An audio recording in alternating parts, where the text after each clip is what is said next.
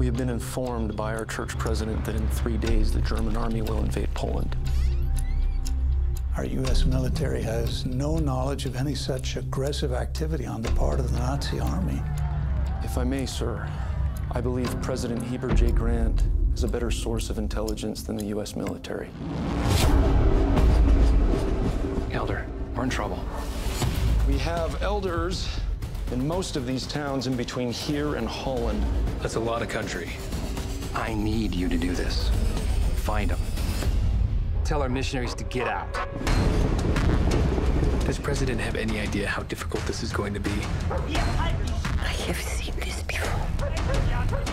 This is what happens before a war. I have not finished my mission, so I will not go. They're barely adults. How could this happen? The Dutch have closed their borders. I just heard the Gestapo. They're closing this border too. No!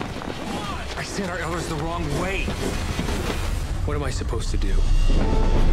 What an amazing coincidence to have an apostle here. This is Joseph Fielding Smith.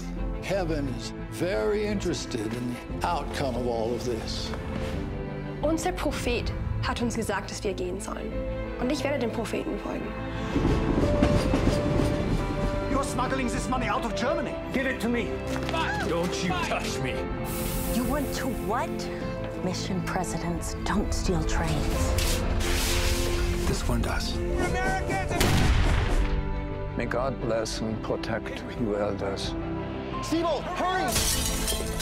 There are still missionaries unaccounted for.